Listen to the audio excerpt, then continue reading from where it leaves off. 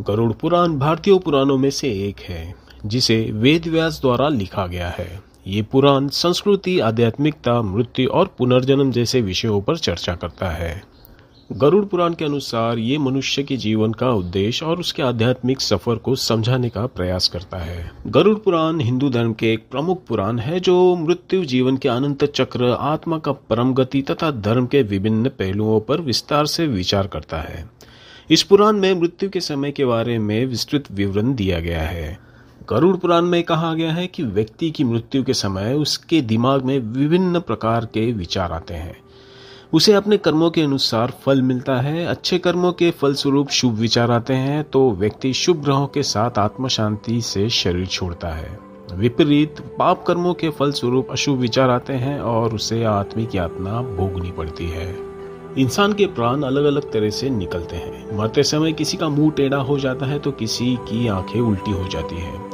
तो कुछ का मुँह खुला रह जाता है, वहीं कुछ लोग मरते समय मलमूत्र त्याग देते हैं। ऐसा क्यों होता है? इसके बारे में गरुड़ पुराण में काफ़ी कुछ स्पष्ट किया गया है। गरुड़ पुराण के मुताबिक मरते समय आत्मा शरीर के नौ द्वारों में से किसी एक द्वार से शरीर छोड़ती है। ये नौ द्वार दोनों आँखें, दोनों कान, दोनों नासिका, मुँह या फिर उत्सर्जन अंग है। जिस व्यक्ति की आत्मा उत्सर्जन अंग से निकलती है, मरते समय वो मलमूत्र त्याग देते हैं। हालाँकि गरुड़ पुराण में इस तरह से प्राण का त्यागना अच्छा नहीं माना जाता। मृत्यु के वक्त इंसान की सभी इंद्रियाएँ नष्ट हो जाती है और वो हिल नहीं पाता। उस समय अंगुष्ट मात्र आत्मा देह से निकलती है, जिसे दो यमदूत आकर पकड़ लेते हैं। उस आत्मा को पकड़कर यमलोक ले जाया जाता है। इस दौरान यमदूत उसको नर्क में मिलने वाले दुखों को विस्तार से बताते हैं। आइए जानते हैं पापी व्यक्ति के किस तरह प्राण निकलते हैं। उत्सर्जन अंग से प्राण उस व्यक्ति के निकलते हैं जो जीवन भर सिर्फ़ अपने और अपने परिवार के लिए सोचता है। जन कल्याण नहीं करता, सिर्फ़ धन अर्जित करने में लगा रहता है, काम वासना में लगा रहता है। ऐसे लोग जब मृत्यु के समय यमदूत को देखते हैं तो घबरा जाते हैं। और उसके प्राण नीचे की ओर सरकने लगते हैं। इसके बाद प्राणवायु नीचे के मार्ग से निकल जाती है। प्राणवायु के साथ अंगुष्ट के आकार का एक अदृश्य जीव निकलता है। यमराज के दूत उसके गले में पास बाँध देते हैं और अपने साथ लेकर यमलोक चले जाते हैं।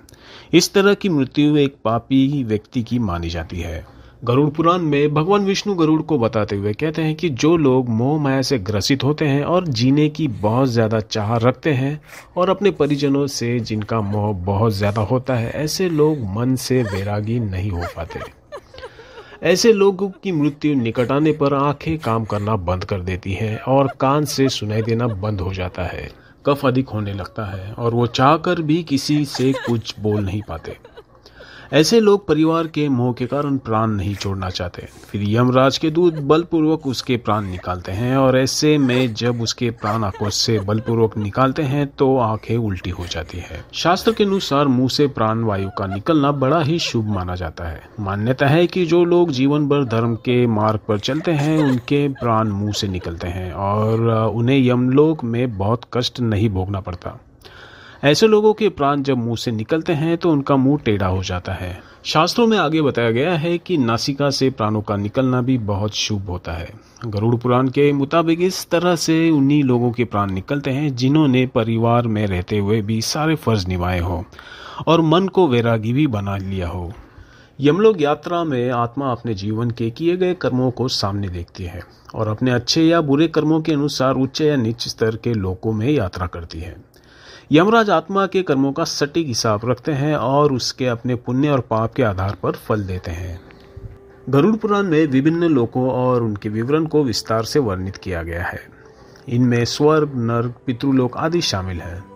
आत्मा को यमलोक यात्रा के बाद उसके कर्मों के अनुसार नए शरीर का जन्म मिलता है, जिससे वह अपने आगामी जीवन को जीने के लिए वापस भूमि पर आता है।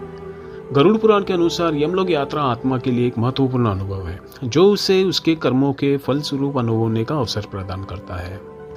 यह अनुभव आत्मा को अपने गलतियाँ और धार्मिक नियमों के उल्लंघन को समझने में मदद करता है और उसे आगामी जीवन के लिए सही मार्ग चुनने की सीख देता है। चलिए तो बात करते हैं स्वर्ग लोक की। स्वर्ग उच्चतम लोकों में से एक है, जहाँ पर धार्मिक और पुण्यकर्मी आत्माएँ भगवान के साथ आनंद पूर्वक विराजमान होती है। यहाँ सुख, शांति और समृद्धि का आनंद मिलता है। इसके उलट नर्क लोक है। नर्क लोक उच्चतम लोकों में से एक है, जहाँ पर पापकर्मी और अधर्मी आत्माएँ दुख और दुख के अनुभव को भोगती हैं, जहाँ पर भयानक दंड और सजा होती है। गरुड़ पुराण के अनुसार मनुष्य के जीवन का सबसे महत्वपूर्ण समय वो होता है जब उसका अंत आता है। उस समय उसके पूरे जीवन के कर्म, आचरण और आत्मिक विकास का परिणाम होता है। इस समय पर मनुष्य के दिल, मन और आत्मा में एक विशेष प्रकार की चिंता और सोच होती है। गरुड़ पुराण के अनुसार इस अंतिम समय में मनुष्य को अपने बुरे कर्मों का पछतावा भी होता है और वो इन कर्मों के परिणाम स्वरूप नर्क या दुखदायी गतियों में जन्म लेता है। वहाँ उसके सारे पिछले कर्मों का भुगतान होता है। इसके विपरीत यदि मनुष्य के अंतिम समय में उसने अच्छे कर्म किए हो तो वो आत्मा स्वर्ग या सुखदायी गतियों में जन्म लेती है। वहाँ उसको अपने अच्छे कर्मों का फल मिलता है और उसकी आत्मा आनंदमय भावना में रहती है। गरुड़ पुराण आध्यात्मिक ज्ञान और मानव जीवन के महत्वपूर्ण पहलुओं को समझने में मदद करता है। तो दोस्तों, अगले वीडियो में गरुड़ पुराण के बारे में और विस्तार से बात करेंगे। तो ये वीडियो आपको कैसी लगी, कमेंट करके ज़रूर बताइए।